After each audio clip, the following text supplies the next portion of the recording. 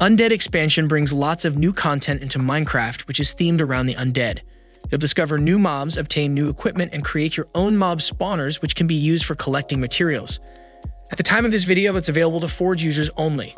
And if you like the look of it, you can find the link to download it in the description below. A new structure that can be found in the plains, savanna, and forest biomes is the grave. In the middle is grave soil, which can be broken with a shovel to receive items like iron and gold nuggets. Though if you break at night, the rewards will be better, and you might get items like diamonds and blighted remains. But be careful, the Haunter might spawn.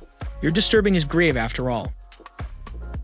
Another structure is the Loot Chamber, which is like a small dungeon. It's made up of lots of new blocks that are provided by Undead Expansion, and there are lots of chests that can be searched. All of the barrels are empty, so they can be ignored. Wandering Knights also spawn here, but we'll talk about them shortly. The first mob is the Revenant, which is a lot like the Phantom. After not sleeping for several nights, you might notice a pair of glowing green eyes that follow you. When it's attacked or damaged, it will reveal itself as a deathly creature.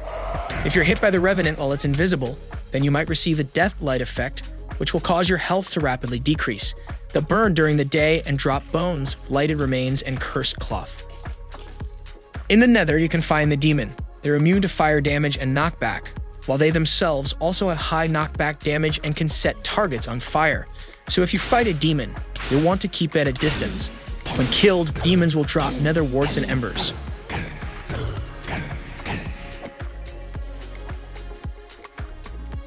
Within overworld loot chambers, you can find the Wandering Knight.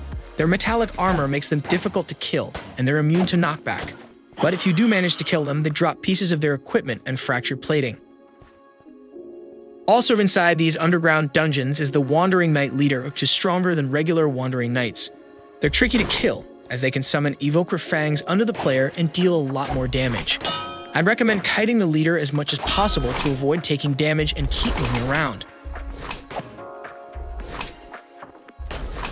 As a drop, the Wandering Knight leader can drop their equipment and fractured plating. Finally, there's the Haunter, which we briefly mentioned before. Haunters can spawn from a grave when it's disturbed, but they also have a chance of spawning during the night when you kill a non-undead creature. Their fast moving can hit you with a blindness effect and they drop ectoplasm. One of the two new sets of armor is the Wandering Knight set. Pieces can be obtained by killing Wandering Knights as they have a chance of dropping pieces of it. An alternative helmet is available, which is obtained from the Wandering Knight leader instead. It's slightly stronger than iron and weaker than diamond, although it's still worth wearing, as having a full set equipped gives the Knight's Resolve buff. When taking damage from any source, you have a chance to receive the resistance effect. The other set of armor is the Deathbringer set, which makes you look a lot like the Revenant. Wearing the full set gives the Death's hand buff, which makes you immune to the Death Blight effect and allows you to inflict it on the targets. The Deathbringer set can be crafted from Cursed Cloth, Blighted Remains, and Phantom Membrane, most of which can be obtained from killing Revenants. There's a set of Rusty Tools which are quite weak. These can be obtained from skeletons, who have a chance to spawn with them instead of a bow. One use for them is that they can be upgraded into iron tools using iron nuggets, making them much cheaper to craft. One of the more powerful weapons is the high-frequency Murasama Blade.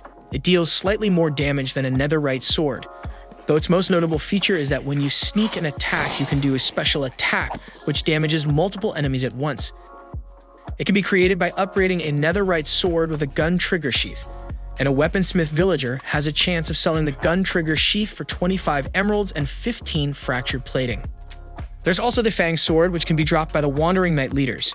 Hitting targets with the Fang Sword will give them the Mark of Evil effect, which can cause Evoker Fangs to spawn under their feet. If the sword is damaged, then place it inside an anvil and repair it using fractured plating. Rotting arms can be easily obtained by digging up a grave. Their damage is only equivalent to a stone sword, but they have slightly higher attack speed and are able to slow targets and cause nausea, so it's still a useful weapon. The final weapon is the Grave Scythe. It can be crafted from two sticks, two iron ingots, an ectoplasm, and a fractured plating. When using this as a weapon, other creatures besides haunters will be able to drop ectoplasm. Let's take a look at some items with the first being Creeper Husk. These can be obtained by hitting creepers with a sharp weapon like an axe or sword. They're used to craft impact grenades along with iron ingots and gunpowder. Impact grenades can be thrown to damage entities, and they won't destroy blocks. Embers are an item that's dropped by demons in the nether. Eight of these can be used to craft a bucket of lava, which is quite useful. But they can also be used as fuel, with them being able to smelt 16 items at a time compared to coal, which only smelts 8. Ectoplasm is dropped by haunters and other mobs if you're using the Grave Scythe.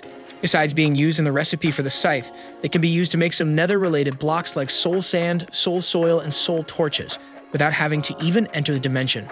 There is also a Blight Lantern which can be crafted using a carved pumpkin and blighted remains.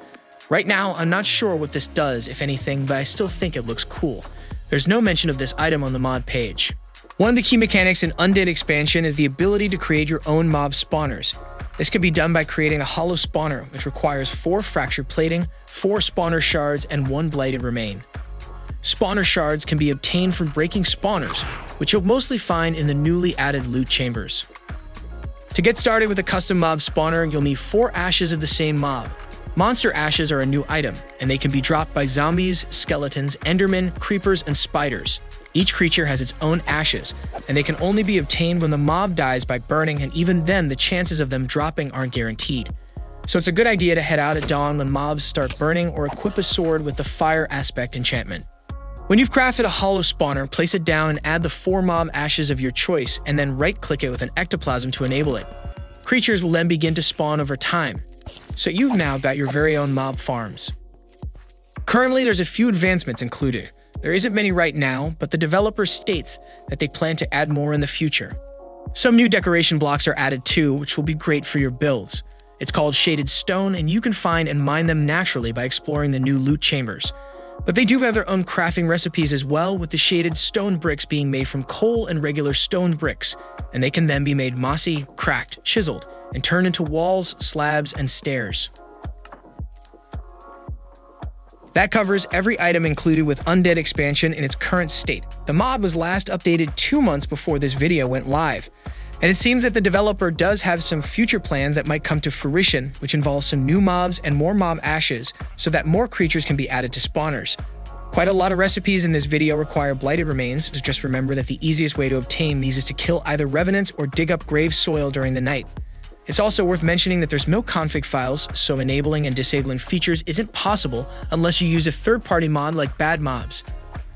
And depending on when you're watching this, parts of this video might become outdated if the mod does receive further changes. That's the end of the Undead Expansion mod showcase. If you enjoyed the video, make sure to leave a like and subscribe, as I'll be covering more showcases in the future, with other types of content coming soon, including mod lists, texture packs, and data packs.